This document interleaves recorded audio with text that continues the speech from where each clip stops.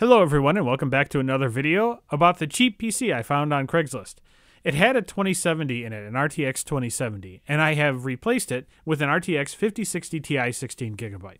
I know it has an older generation of PCI Express. This system uses 3.0 and the card can do 5.0.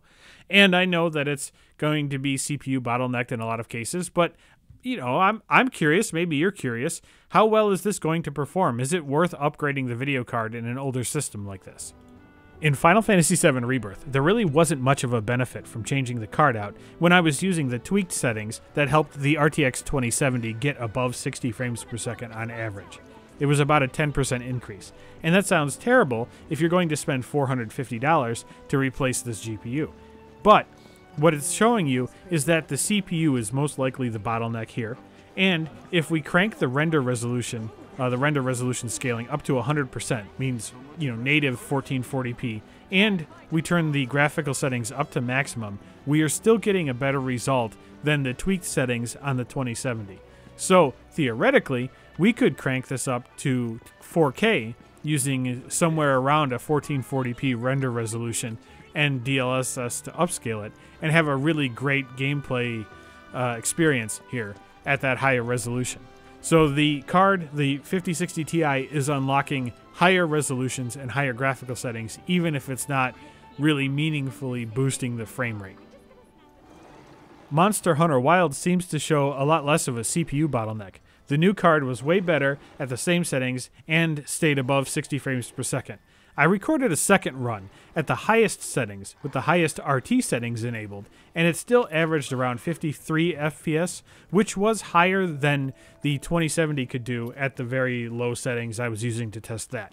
This was while recording too, so you could probably expect a few more frames per second to be clawed back if you're not recording while you're playing. In Control, at the same settings that was used for the RTX 2070 test, again, like for like, the 5060 Ti in this system destroyed the 2070 and allowed for nearly double the frame rate.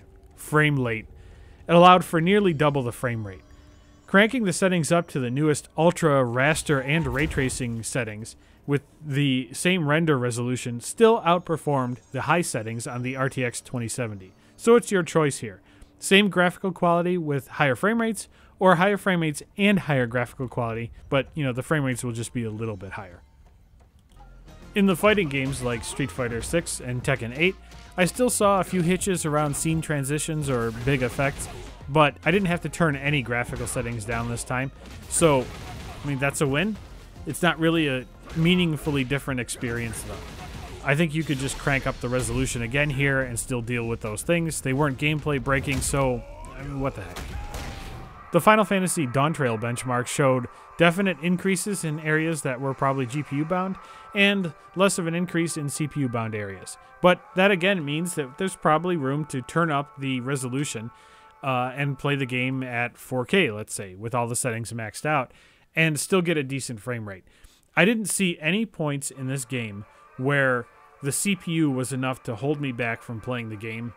Uh, I, I really think this game is perfectly fine at 60 frames per second, even if you're used to higher. And I would actually use frame generation or something on this game to make it smoother if you really wanted that. Lastly, I just want to throw Battlefield 6 in here. I decided to try it on this system because it is compatible, it has secure boot and all that kind of stuff. And it ran great. I mean, you could have a good time playing this. It's not competitive shooter level of frame rate here, but for Battlefield, I think it's, you know, serviceable. It's fine. You can have a fun time playing this game. So, what's the point? Adding the new card like this isn't going to solve the CPU's weaknesses, but it will unlock higher graphical settings and resolutions in most cases. The tests show that more CPU bottlenecks appear when you have a faster card, which is kind of obvious, I guess, but it didn't make the upgrade worthless. That said, if you're looking at doing something like this, you have to decide whether it's worth, you know, $400 plus to buy a 5060 Ti when you're really not meaningfully changing the gameplay experience. You're just improving the graphics. Um, I guess that's up to you. Anyway, thanks for watching. Oh, and in the description, I'm going to link a video to Hardware Unboxed that explains how the uh, older versions of PCI Express affect the 8 gigabyte cards that have come out for this generation of cards, like the RTX 5000 and the RX 9000 series cards. You'll want to watch that because, I mean, basically the point is stay away from the 8 gigabyte cards. But it's especially true for the NVIDIA cards that only have 8 gigabytes of VRAM on older systems. So make sure you check that out if you're considering upgrading a system like this one. Thanks for watching. Again,